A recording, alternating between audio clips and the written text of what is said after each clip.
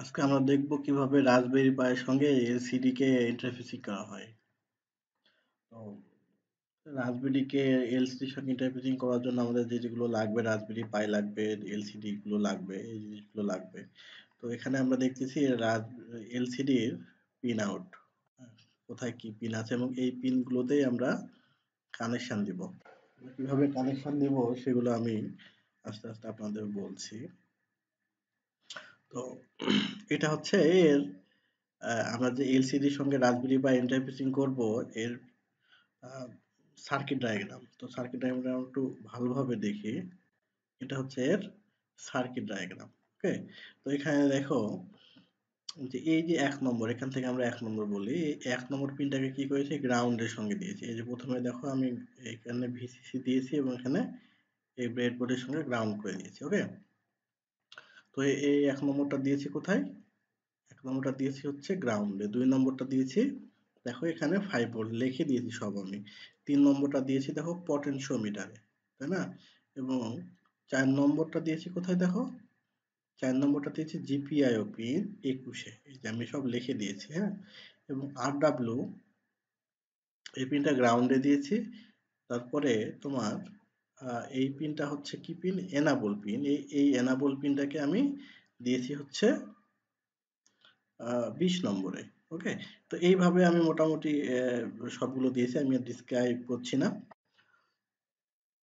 এটা হচ্ছে এর মানে সার্কিট ওয়ারিং ডায়াগ্রাম তো এরপরে আসি আমরা, এই কাজ করার জন্য আমাদের কিছু লাইব্রেরি লাগবে হ্যাঁ? তো আমাদের যে লাইব্রেরিটা ব্যবহার করব আমরা যেহেতু লাইব্রেরিটা করেই রেখেছি আগে থেকেই, তো আমরা নতুন করে লাইব্রেরি তৈরি না করে জাস্ট ওই লাইব্রেরিটা ইউজ করব। আমরা এই লাইব্রেরিটা ইউজ করব। তো এর জন্য এই লাইব্রেরিটাকে ইনস্টল করার জন্য যেটা করতে হবে সেটা হচ্ছে জাস্ট আপনাদের যে টার্মিনাল আছে, এই টার্মিনালে এই কয়টা কমান্ড দিলেই কাজ হয়ে যাবে, আর কিছু করতে হবে না। ঠিক আছে? প্রথমে এটা কি হবে? এটা ডাউনলোড করবে, তারপরে এটাকে ইনস্টল করার কমান্ড এটা। তো আমার আমি সামনে আমার যেহেতু করা আছে, আমি আর দেখাচ্ছি না আপনাদের, আপনি বিশ্বাস পারবেন। এরপরে কোডিং সেকশনে আমরা চলে আসি। তো কোডিং সেকশনে আমরা এখানে কি করেছি? আমরা এখানে যেই পিনগুলো এই পিনগুলোকে ডিক্লেয়ার করে দিয়েছি, তাই না? R S pin enable pin আমরা সার্কিট ডায়াগ্রাম অনুযায়ী ডিক্লেয়ার করে দিয়েছি এবং এটা কি হবে? ষোলো বাই বিশ, ষোলো বাই দুই। আমাদের এই ইয়াটা, এলসিডিটা। এখানে যদি অন্য কোনো কনফিগারের এলসিডি থাকতো, আমরা সেটাকে ডিক্লেয়ার করতাম। আর এখানে তো আমরা কি করেছি? লাইব্রেরিটাকে ইনস্টল করে নিয়েছি, তাই না? ইনপুট করে নিয়েছি। এরপরে আমরা এগুলো সব ডিক্লেয়ার করার পরে আমরা কি করেছি? একটা জাস্ট মেসেজকে আমরা প্রিন্ট করেছি কি? এল সিডি ডট মেসেজ দিয়ে আমি একটা মেগাটনের স্ল্যাব এই মেসেজটা প্রিন্ট করেছি। এরপরে কি করেছি? দেখেন, এটা একটা মজার জিনিস। আপনি যে ইনপুট দিবেন যা, সেটাই এলসিডিতে শো করবে। আপনি যা ইনপুট দিবেন, সেটাই এলসিডি শো করবে এবং এরপরে এটা ক্লিয়ার হয়ে যাবে। তো আমরা আজকে নতুন একটা জিনিস দেখব। আমরা পাইচাম দিয়ে কীভাবে এটা কাজ করা যায়, সেটা দেখব। তো এখানে আমি কোডটা লিখে রেখেছি, আপনাদের দেখার সুবিধার্থে আমি আবার নতুন করে কোডটা শুরু করি। এখানে আপনাকে রাজবেরি পায়ের সঙ্গে কীভাবে আপনি এই পাইসামকে ইন্টারফেসিং করবেন, সেটা আমি দেখাবো। কিন্তু এই জন্য আপনার পাইসামটা অবশ্যই প্রফেশনাল হতে হবে। যদি আপনার ওই আরেকটা যে ভার্সন আছে কমিউনিটি এটা হলে হবে না। অবশ্যই আপনার প্রফেশনাল ভার্সনটা লাগবে। তো এখান থেকে যেটা করতে হবে আপনাকে, আমরা ফাইল থেকে গেলাম ফাইল থেকে নিউ প্রজেক্ট এই যে এখানে ক্লিক করবেন। ক্লিক করে দেখেন অ্যাড রিমোট ওকে এখানে আপনাদের একটা আইপি অ্যাড্রেস আছে না? ওই রাজবেরি পায়ের ওয়ান নাইন টু সঙ্গে আপনারা ইয়ার সঙ্গে সঙ্গে কানেক্ট করেন অথবা আচ্ছা যাক আমি আপনাদের দেখাই যে আমার যে আইপি অ্যাড্রেসটা আছে সেই আইপি অ্যাড্রেসটা এখানে ইনপুট দিই। One nine two dot one six eight point one point three three এবং এর ইউজার নেমটা হচ্ছে পাই এবং পাসওয়ার্ড তো আমরা জানি। আমার ডিফল্ট পাসওয়ার্ড থাকে রাসবেরি, ওকে? তো এখানে বলছে অলরেডি কানেক্ট করাই আছে এটা। অলরেডি কানেক্ট করা আছে। সেজন্য নতুন করে আর কানেক্ট হচ্ছে না। ওকে? তো ঠিক আছে, না হলে সমস্যা নেই, আপনাদের জাস্ট প্রসেসটা দেখালাম। এখান থেকে আমি জাস্ট কি করব? ক্রিয়েট করব। ক্রিয়েট নিউ উইন্ডো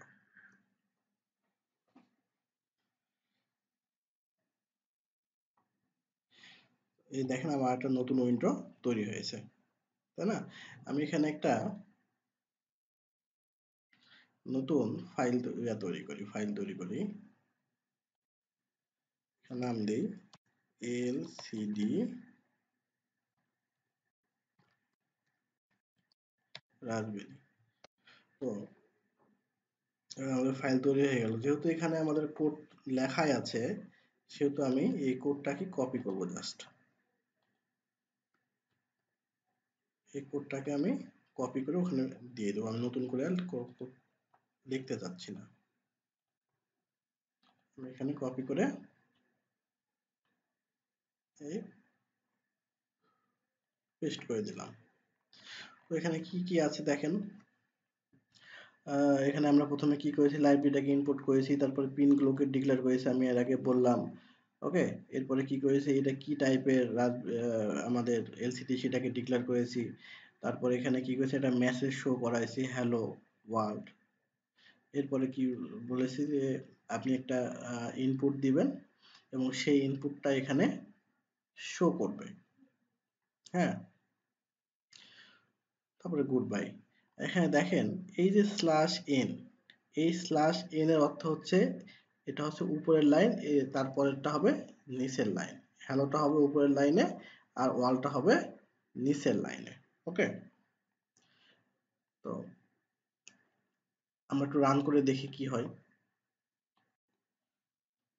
আমরা এটাকে একটু রান করে দেখি।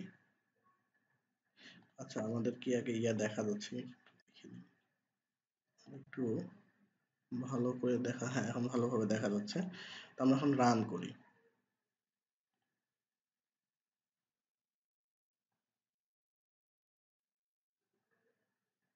ওকে তো আমি এখানে যদি কোনো কিছু লিখতে চাই যেমন হাসান। হ্যাঁ, এখানে কি হচ্ছে? হাসানের পরে কি লেখা উঠবে? Hasan how are you okay Hasan how are you এরপরে কি লেখা উঠবে?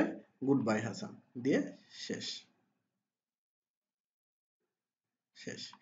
ওকে তো আপনারা এখানে যদি অন্য কিছু মেসেজ দিতে চান, তাহলে জাস্ট আপনারা সেই মেসেজগুলো দিবেন। এবং কত সহজে রাজবেরি পায়ের সঙ্গে এটাকে ইন্টারফেসিং করা যায়। সব লাইব্রেরি তৈরি করা আছে। আমি আরেকটা ছোট্ট আপনাদের জিনিস দেখাই। এখান থেকে আরেকটা ফাইল তৈরি করি। আপনি যেই মেসেজটা শো করতে চান, সেটা বারবার করতেই পাবেন করতেই থাকতে পারবেন। এলসিডি আর মিনিট ওয়ান দিলাম।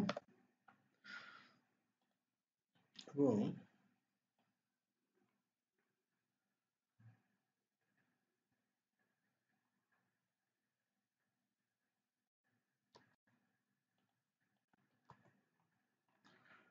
আমরা এখানে কন্ডিশন দিয়ে দেব।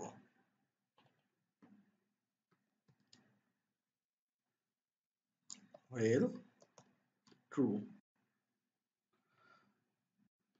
এই কন্ডিশন যদি সত্য হয়, তাহলে আমার এই লুপের মধ্যে এটা বারবার চলতেই থাকবে চলতেই থাকবে। বারবার চলতেই থাকবে। আমি যেটা যাই লিখব সেটাই মেসেজটা ওখানে শো করবে। আমি এটা রান করে দেখি। প্রথমে আমার কি আসলো? Hello world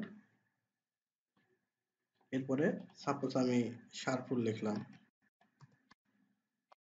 okay Sharful how are you সময় নিল।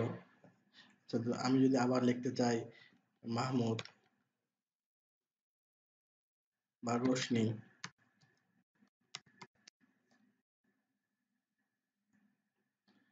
ওকে অথবা আমি যদি পলক লিখতে চাই, পলক হাউ আর ইউ মানে আমি এখানে যে মেসেজটা ইনপুট দিব, ঠিক সেটাই ওখানে ডিসপ্লেতে দেখাবে। ওকে অথবা শরীফ দিতে পারি।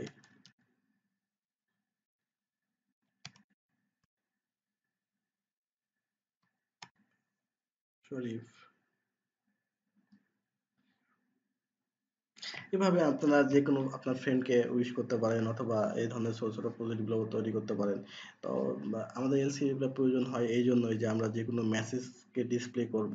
তো এই ছোট ছোট কাজগুলোকে যদি আমরা ইন্টিগ্রেট করি, একসঙ্গে করি, তাহলে দেখা যাবে যে অনেক বড় বড় কাজ হবে, অনেক সুন্দর সুন্দর প্রজেক্ট তৈরি করা যাবে। কিন্তু এই ছোট ছোট জিনিস না জানলে কিন্তু বড় বড় কাজগুলো করা যায় না। সেজন্য আমাদের ছোট ছোট জিনিসগুলো প্রথমে জানতে হবে, কীভাবে এলসিডি ইন্টারফেসিং করা হয় বা এই যে ছোট ছোট কাজগুলো তো আজকে এতটুকুই ছিল। কোনো যদি জানার কিছু থাকে বা প্রবলেম হয় কাজ করতে গিয়ে, তাহলে আমাকে অবশ্যই নক করতে পারেন। আমি হেল্প করব সাধ্যমতো। Okay thank you